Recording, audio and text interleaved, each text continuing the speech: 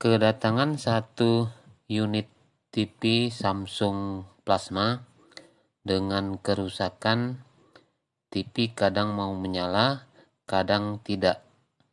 Modelnya PS43 F4000.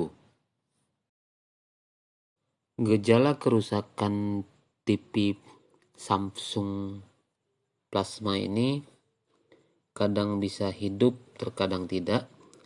Pertama kemungkinannya akibat solderan lekang atau retak pada bagian power supply-nya ataupun regulatornya. Selanjutnya, jika tidak ada masalah pada solderan pada bagian regulator, maka berlanjut untuk mengecek komponen-komponen di bagian regulatornya.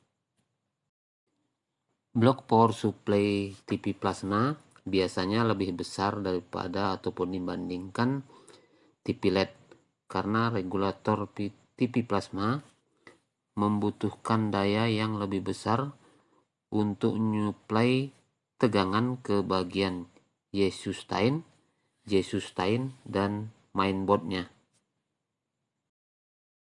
Mengecek solderan pada kaki-kaki komponen satu persatu, terutama solderan pada komponen-komponen yang memiliki panas yang cukup tinggi pada saat TV menyala. Kelihatan sebuah solderan lekang ataupun retak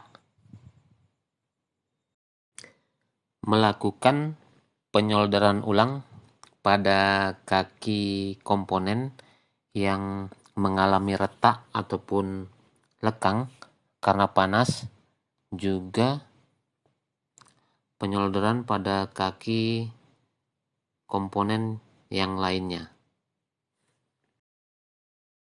Inilah kapasitor yang solderannya retak atau lekang di kakinya.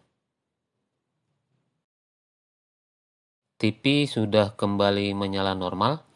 Teman-teman tuser, hobi oprek, hobi nguger-nguger, Semoga video ini bermanfaat.